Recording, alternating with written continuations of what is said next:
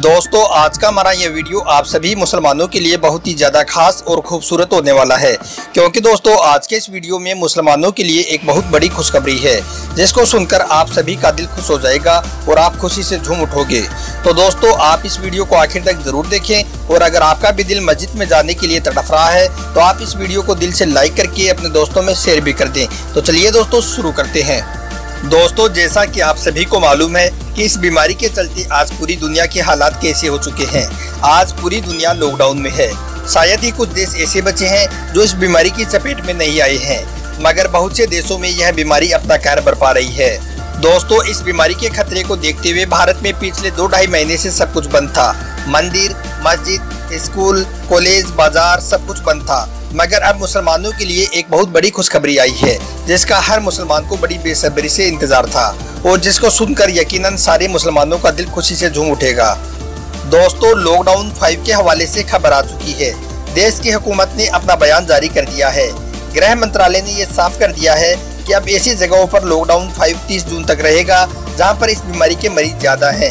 यानी कि दोस्तों, ऐसी जगह पर कुछ भी नहीं खुलेगा जहाँ पर इसके मरीज़ बढ़ रहे हैं। मगर इसके अलावा बाकी जगहों पर मस्जिदों को खोलने की इजाज़त दे दी गई है, जो 8 जून से शुरू होगी। इसके अलावा 8 जून से होटल, शॉपिंग मॉल्स को भी खोलने की इजाज़त दे दी गई है। यानी कि दोस्तों 8 जून से देश की सभी मस्जिदें आम पब्लिक के लिए खुल जाएँगी और भारत के मुसलमान अब मस्जिदों में जाकर इबादत कर सकेंगे।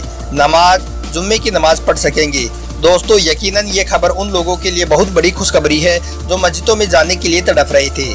दोस्तों 8 जून से अल्हम्दुलिल्लाह सारी मस्जिदें खुलने वाली हैं।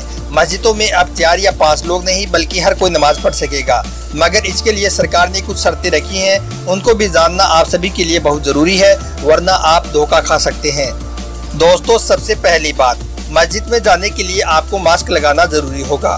और नमाज़ में आपको सामाजिक दूरी भी बनाए रखनी होगी। इसके अलावा दोस्तों, सरकार ने ये भी साफ़ किया है कि एक साथ दस लोग ही मस्जिद में जा सकेंगे।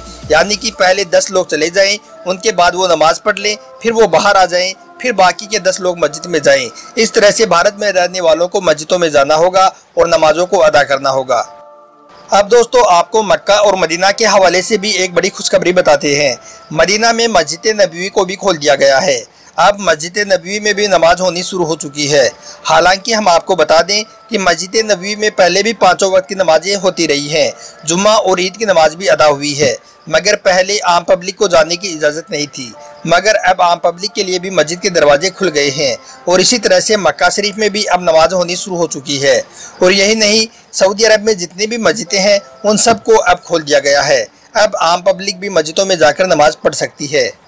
दोस्तों, यह खबर सुनकर आपका दिल सच में खुश हुआ है तो आप इस वीडियो को दिल से लाइक करें और अपने दोस्तों में शेयर भी करें, ताकि ज़्यादा से ज़्यादा लोगों तक यह खुशखबरी पहुँच सके। आपका वीडियो देखने के लिए बहुत बहुत शुक्रिया।